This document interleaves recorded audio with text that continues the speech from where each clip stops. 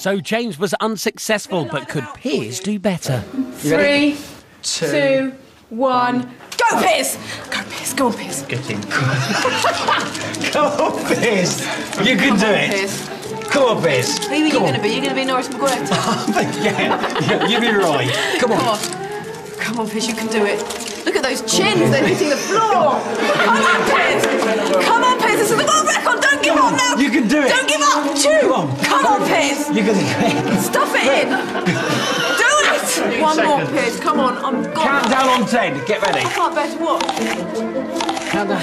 Ten, nine, eight, seven, You've got to start. Six. five, four, three, two, one.